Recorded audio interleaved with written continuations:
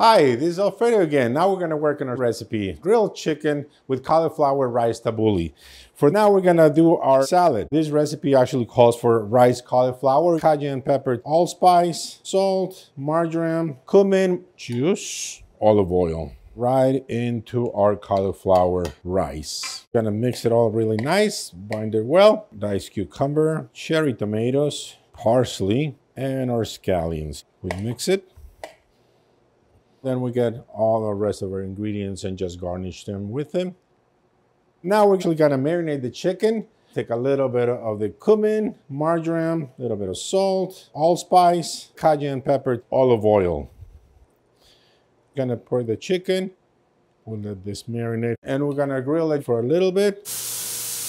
You can add some of the chicken to it. Make nice slices. Enjoy.